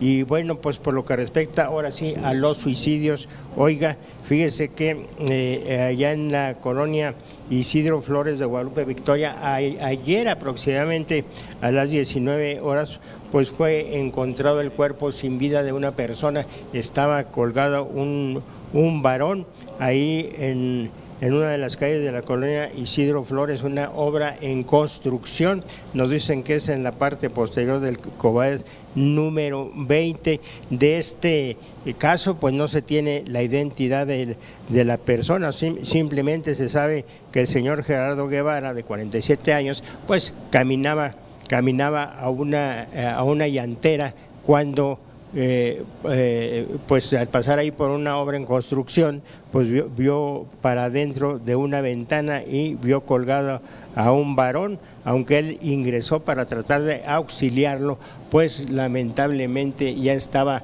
sin vida, por eso dio parte a las autoridades. Ese sería el primer suicidio de las últimas 24 horas. El segundo fue pues también aquí en la ciudad de Durango, justamente al interior del Panteón de Oriente, donde en un árbol, en lo alto de un árbol, fíjese, estaba colgada la persona, un joven que pues vestía solamente un short color negro. Eh, se dice que este, este joven pues pudo haber entrado en la madrugada, en la madrugada para subirse al enorme árbol y colgarse. Bueno, pues de este caso también tomó conocimiento de la Fiscalía General del Estado y eh, trasladó el cuerpo al anfiteatro para practicarle la autopsia de ley. De momento no se conoce tampoco la identidad de este suicida. Y bueno, pues el tercero fue allá en el poblado, allá en el municipio de San Juan del Río Durango, precisamente en el poblado San Agustín de Ocampo, donde esta mañana fue encontrado colgado el señor Adán González Hernández, quien contaba con 60 años de edad. De acuerdo a lo que se conoce, bueno, este señor padecía de alcoholismo y tenía algunos problemas eh, familiares, incluso se había separado de la esposa y bueno, pues lamentablemente él decidió quitarse la vida por medio del ahorcamiento. Y el número cuatro, y el número cuatro, en estos momentos la Fiscalía General del Estado, personal de servicios periciales y del agente Ministerio Público están dando fe del cuarto suicidio allí en la colonia, en la colonia 22 de septiembre, ofrecimiento 22 de septiembre que se ubica por prolongación Pino Suárez. ahí entre las colonias, el fragmento Los Frenos y la colonia industrial ladrillera frente a la colonia Luis Echeverría Álvarez. Nos dicen que, bueno, pues la persona que se quita la vida es un varón que tenía su domicilio en calle Profesora en Gracia Osuna entre Jesús García y Alfredo Herrera de ese asentamiento. Oiga, quiero informarle que con este suicidio, pues son cuatro en las últimas 20 horas, son 22 eh, los ocurridos solamente en el mes de junio y 95 en todo el año 2022. Bueno, en lo que llevamos del año 2022. Esto es preocupante, don Pilar. Muy preocupante. en el mes de junio, en el mes de junio del año pasado les he informado a través de este medio que fueron 15, 15 suicidios en todo el mes. Ahorita estamos a 24 y mire, son 22, son 7, 7 más. La situación es muy preocupante. Definitivamente, algo se tiene que hacer a la de ya. Así es. Ya no podemos esperar más, se tiene que actuar. Nuestros candidatos a presidente, a gobernador, cuando vieron en campaña, dijeron, bueno, pues vamos a ponerle atención al tema del suicidio, al tema de la drogadicción, al tema de la enfermedad mental y bueno, pues se espera que cumplan ahora, ahora que ya, eh, pues ya son autoridades electas, tanto el presidente municipal como el gobernador son electos y bueno, pues ojalá que tomando posición le pongan atención a este caso que es verdaderamente alarmante. Sería un error garrafal si no lo hacen. Sí es. Totalmente. Sería reprochable que no hicieran caso de o, pusieran atención a este tipo de Aunque no lo hayan prometido, deben de atender eh, esta situación porque es verdaderamente alarmante. Está cobrando muchas vidas de todas las edades. Una, es una locura. Eh, tres de los suicidios que eh, ocurren en este en este mes, en este mes, el que se suicida antes mata, en dos casos asesinó a su, a su pareja y en el otro está a punto de lograrlo. ¿Por qué? Porque está todavía agonizante la señora de Canatlán. Efectivamente. Continuamos con usted, don Pedro. Bueno, eh, Víctor, y bueno, la Dirección Municipal de Seguridad Pública está informando de la detención de varias personas. Manuel es, tiene 31 años de edad, es una de ellas. Bueno, pues a él lo detuvieron en el Boulevard eh, Armando del Castillo Franco entre las calles Guadalupe y Puerto Escondido. Él sabe por qué lo detuvieron. Bueno, pues él se robó un caso para hacer chicharrones. Y por otro lado, eh, eh, José Lucas, de 31 años de edad, pues eh, lo acusó su mamá de agredirla, también fue detenido y puesto a disposición del Ministerio Público, mientras que Guillermo, de 37 años, bueno, pues fíjese que a él lo acusaste, él tiene 73 años, no 37, 73 años, es un abuelo que, bueno, fue acusado por una señora de manosear a su hija menor de edad. Él está detenido, lo, arrestaron en las calles Paraguay entre Bolivia y Costa Rica de la colonia Lázaro Cárdenas. Y bueno, y Jesús María, de 30 años, él también fue arrestado por la policía preventiva ya que lo acusaron de robar una pantalla, un tostador de pan, una plancha para cabello y a él arrestaron en calle Jesús García y calle República de Ecuador de la colonia Francisco Zarco. También tenemos el caso de Alberto de 34 años de edad que él golpeó a su esposa, golpeó a su esposa, es. por violencia familiar, lo arrestaron en el, en el fraccionamiento Guadalupe Victoria Infonavit. Oiga, y bueno, pues fíjese que tenemos también esta situación del taxista Gael Alejandro Delgado, Delgado Gurrola. Él tiene 21 años de edad, su domicilio en, en privada 5 de mayo de la Colonia Juárez en el Salto Pueblo Nuevo Durango. Bueno, pues él fue interceptado por dos individuos que viajaban en un vehículo color negro ahí en una de las calles de la colonia Morelos de Ámido del Salto y lo golpearon, lo golpearon y lo atacaron con una navaja. No lo asaltaron, Víctor, simplemente lo atacaron y se dieron a la fuga. Este joven fue llevado a un hospital de ahí mismo del Salto y posteriormente al parecer lo trasladarían a la ciudad de Durango. Okay. Por otro lado, oiga, fíjese que un, eh, sujeto, un sujeto Oscar B, eh, a, él, a él lo detuvo el personal de la Guardia Nacional por la carretera que va de Gómez Palacio, Durango a Jiménez, Chihuahua. Bueno, pues este individuo sabe que viajaba de Ciudad Juárez a Jalisco, a Guadalajara, Jalisco, llevando un cargamento de 20 armas de fuego y así como pues cargadores, infinidad de cargadores, y a él lo, detuvieron los guardias nacionales, lo pusieron a disposición de, del Ministerio Público de la Federación y ahora el juez, el juez le está dictando una sentencia de cinco años, ocho meses de prisión, un traficante de armas, Víctor. Y bueno, Víctor, tenemos también el caso de una persona, de un bebé golpeado allá en Gómez Palacio Durango, Jimena Guadalupe. Fíjese que esta, esta bebé, bueno, pues es de año y medio, él fue golpeado por, eh, eh, al parecer por su su, por su padrastro, esto ocurrió en la colonia Brisas del Sur, ahí en Lerdo, Durango, Blanquestela de 30 años es la madre de la menor y está detenida, está detenida junto con su pareja sentimental por eh, la posible agresión a esta, a esta, a esta bebé. Perfecto, 30 segundos, don Pilar. 30 segundos, bueno, fíjese que allá en la colonia Lucio Cabaños, el, Antonio de 49 años de edad golpeó a sus papás, al señor Antonio de 76 y a, doña Lisandra. Al papá lo, le pegó con una silla, agarró una silla y se la estrelló en la espalda. bueno, pues según los papás ya van a presentar una denuncia para que este individuo sea detenido y llevando, llevado ante el juez, Víctor. Lamentable, don Pilar, esta situación. Oiga, muchísimas gracias, por la información. Lo esperamos mañana con más noticias a las 7 la mañana. Temprano aquí vamos a estar. Buenas tardes. Gracias, don Pilar. Vámonos rápidamente a un corte. No le cambie, quédese con nosotros en Grupo Garza Limón. Volvemos.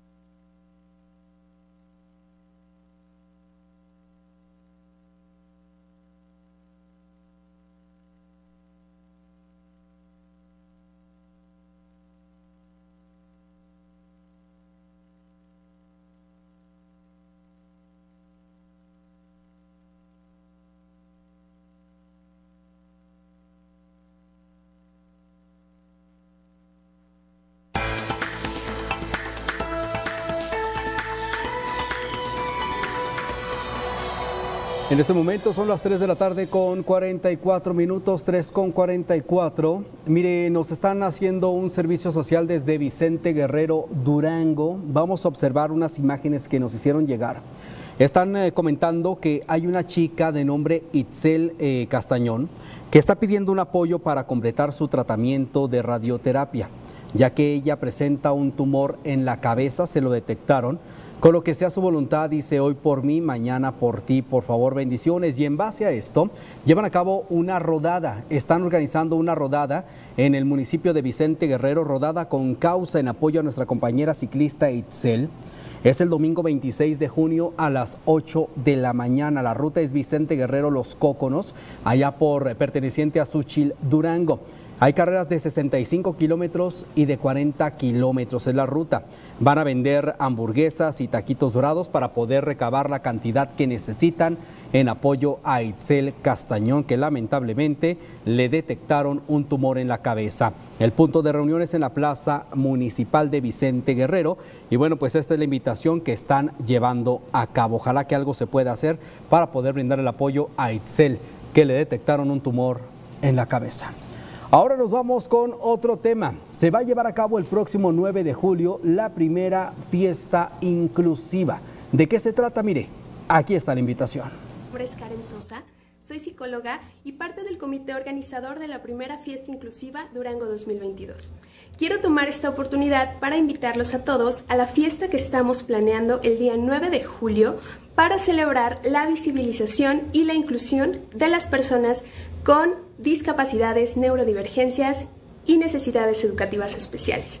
Tenemos planeada una fiesta llena de sorpresas, de actividades y de juegos para toda la familia. Ninguna de las actividades tendrá ningún costo. El objetivo es crear un espacio en el que todas y todos podamos convivir, visibilizar e incluir a todas las personas. Recuerden, los espero el sábado 9 de julio a las 3 de la tarde en el Polideportivo del Parque Guadiana. También pueden unirse a la causa como patrocinadores, como padrinos de algún talento. Pueden buscarnos en nuestras redes sociales. En Facebook nos encuentran como Primera Fiesta Inclusiva. Cualquier duda, estamos a sus órdenes y nos vemos el sábado 9 de julio. Bien, pues ahí tiene usted la invitación, mire, para la primera fiesta inclusiva, personas con discapacidad. Búsquelos así en el Facebook, fiesta inclusiva, y ahí le dirán todo lo que se necesita. Nos vamos directamente con otro tema importante. La regidora Cintia Hernández dice que se tiene que poner orden, todo el orden que se requiere en el Panteón de Oriente. Que la gente esté presentándose eh, a visitar a, sus difuntos, a sus familiares y que vean ese tipo de, cosas y sobre todo eh, que se vea la suciedad que hay en el panteón. Nos dicen que era por limpia, nos dicen que había todo ese eh, suciedad, todo eso que, pues realmente a ningún familiar nos gustaría ver que afuera de, de, alguna tumba hay, se pueden decir restos han encontrado hasta bebés. Entonces es una lástima, de verdad. Eh, creo que es, es, algo eh, que realmente las quejas todos los días están llegando en redes sociales. Hay bastantes mensajes en bastantes eh, pues, medios de comunicación donde realmente no podemos permitir que se siga llevando esto. Ahorita voy a hacer un pronunciamiento en este tema, exigir que se tome en cuenta sobre todo eh, creo que es un costo no barato lo que se cobra por, por tener un, espacio en el Panteón de Oriente como para que no se esté teniendo la seguridad y el cuidado preciso para que la gente eh, pues pueda, se puede decir que, tengan un, un, descanso en paz. Y es que hay que recordar que en el Panteón de Oriente desafortunadamente se han suscitado varios robos en las lápidas e incluso ahí en el Museo de Arte Funerario también se robaron algunas eh, esculturas de Benigno Montoya. El detalle aquí es que sin duda alguna se tiene que hacer algo porque también hay que recordar que varios eh, jóvenes fueron detenidos anteriormente pues eh, jugando a la Ouija. Hay quienes entran a consumir bebidas alcohólicas, en fin, no hay respeto en el Panteón de Oriente y por supuesto Cintia Hernández, regidora, exige que se tiene que tomar a cabo el respeto correspondiente. En más información, señoras y señores, ahora nos enlazamos hasta Guadalupe Victoria con nuestra compañera Perla Meraz, quien nos tiene detalles importantes. Perla, ¿cómo estás? Muy buena tarde. Víctor, muy buenas tardes, qué gusto saludarte. En este viernes ya se acabó la semana, pero por supuesto que hoy también tenemos para ti y para tus televidentes la información que se genera en este municipio de Guadalupe, Victoria. Se habla a nivel estado sobre la pérdida del registro de tres partidos políticos que no alcanzaron el porcentaje de votación durante la jornada electoral pasada del 5 de junio, uno de ellos el Partido Verde Ecologista de México. Hoy platicamos con su dirigente municipal, Ricardo Lozano Ramírez dice que el registro no está en juego, que lo que está en juego son las prerrogativas. El dinero, pues, vamos a ver lo que dijo. Yo creo que hay que ser muy claros. El registro no se pierde, no se pierde y ¿por qué? Porque simplemente es un partido a nivel nacional y como tal, o sea, no puede perder el registro por un tema local, ¿sí? Lo que sí está en riesgo, lo que sí eh, hemos estado peleando porque el OPLE así lo ha decidido. El OPLE ha, presentado por ahí algunos argumentos para desaparecer la acreditación del partido aquí a nivel local, eh, sin argumentos, porque en nuestra defensa nosotros ya tenemos este pues argumentos y tenemos una historia que en el 2016 nos presentó el mismo caso y lo ganamos. En la ley dice, por ejemplo, te, cito aquí el artículo 61, los partidos, los partidos políticos nacionales que no hayan participado u obtenido en la elección ordinaria inmediata anterior el 3% de la votación válida emitida en alguna de las elecciones, en alguna, ahí está la clave, en alguna de las elecciones para ayuntamientos, legislaturas locales o de gobernador, perderán su acreditación ante el instituto. Entonces, nosotros tenemos si bien para la gobernatura no, alcanzamos el 3%, en los ayuntamientos tenemos alrededor de un 3.8, 3.9%. Estamos seguros que el Partido Verde sigue y sigue para rato. Hablar de aquí de Guadalupe Victoria, pues somos la, la primer potencia política y, estamos trabajando con todo para todas esas personas que, que nos dieron su respaldo, que nos apoyaron y pues a seguir trabajando. Víctor, esa es la información generada en este municipio de Guadalupe. Victoria, regresamos contigo al estudio. Muchísimas gracias, eh, Perla Meraz, por esta información relevante que se ha dado a conocer, eh, sobre todo, sí, efectivamente, se, tenía alguna inquietud sobre el Partido Verde Ecologista de México, pero bueno, también aquí, lamentablemente, redes sociales progresistas, que era representado por Hugo, Hugo Rosales Vadillo, sí perdió su registro al no haber alcanzado la cantidad de votos. Pero nos vamos con otra información, ahora nos enlazamos hasta Pueblo Nuevo, El Salto. Adrián Esquivel, ¿cómo estás, mi hermano? ¿Qué noticia nos tienes? ¿Qué tal con información desde el Salto Pueblo Nuevo? En su visita a esta cabecera municipal por parte del gobernador del estado, José Aispuro Torres, realizó la entrega de alimento subsidiado para ganado. Tenemos los detalles y la entrevista. Vengo a entregar alimento para el ganado, a entregar eh, semilla eh, de avena, eh, forrajera y desde luego a supervisar y a entregar diversas obras en coordinación con nuestro presidente municipal, con Adrián Chaparro, a quien le, agradezco la voluntad, la disposición que ha tenido para trabajar en equipo y gracias a eso hoy en el municipio de Polo Nuevo tenemos obras muy importantes. Hace un momento fuimos a supervisar la construcción de la escuela Leona Vicario que se, había, se quemó hace algunas semanas y que hoy estamos invirtiendo ahí 16 millones de pesos en, una prácticamente una nueva escuela, porque quedó en ruinas total, la, anterior infraestructura, y el tema también de la infraestructura urbana, entregamos hoy las banquetas eh, eh, y eh, la escalinata que está en el bulevar, sobre el bulevar principal y el, acceso también a, la parte de, una escuela primaria. estaremos supervisando la, la, pavimentación de algunas calles, entraremos entregaremos también hoy 25 viviendas en la colonia La Forestal. Se entregaron también algunos títulos de, propiedad y estamos aquí también trabajando en la ampliación de lo que es eh, el Instituto el tecnológico, el tecnológico forestal. De, eh, tenemos diversas obras en la ciudad, estamos construyendo una unidad deportiva y traemos eh, obras eh, hidráulicas, obras de, vivienda en diferentes lugares, sobre todo en, obras en, pecho, en, techo seguro, piso firme. Entonces vamos a continuar trabajando aquí con nuestro presidente municipal para seguir atendiendo necesidades de la gente. Regresamos al estudio, reportó para Noticieros Garza Limón, Adrián Esquivel Medrano. Bien, Adrián, pues muchísimas gracias por esta información que nos has facilitado. Te deseo que tengas un excelente día. Los espero el próximo lunes con más noticias. Saludos. Oiga, nos llegan algunas participaciones. Nos dice muy buenas tardes desde Santiago Papasquiaro, Durango. Quiero que le mande un saludote a nuestra hija Jimena Ramírez, que la animen, dice, ir a natación. Que le eche todas las ganas, por supuesto que sí, Jimena. La natación es un deporte increíble, hombre. No sé por qué no quieres ir. Aprovecha la invitación que te hacen tus papás, ¿eh? Aprovecha esto de la natación, es muy padre. Otro comentario dice, las calles de la colonia Echeverría totalmente cerradas por los vehículos de unos borrachos que tienen tocando una banda, dice, a media calle. Nos están mandando algunas imágenes. Híjole, de verdad tienen la calle toda cerrada. Yo no sé si pedirían permiso a vialidad y si no, pues ahí está el reporte para vialidad. Una calle cerrada, así nos lo comentan en la colonia Echeverría. Échenos la mano, dice. Muy buenas tardes, Víctor. Claro que sí, dice al matrimonio igualitario. La región es ajena a la condición amorosa de cada persona. Ni Dios juzga, dice, porque el ser humano sí lo está haciendo.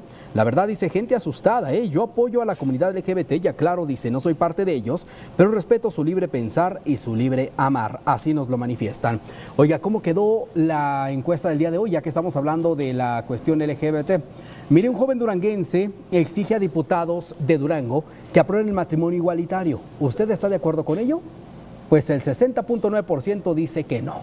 Ahí está el resultado. 60.9% dice no y el 39.1% dice que sí.